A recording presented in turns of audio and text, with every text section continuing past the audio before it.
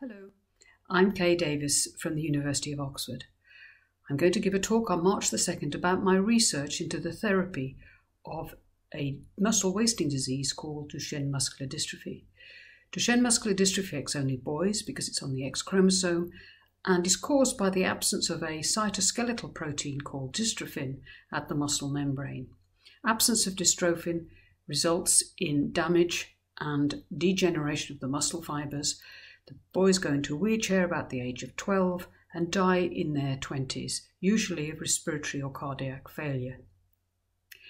This is an area of clear unmet clinical need, and thus far there's only really palliative care or relatively inefficient genetic approaches.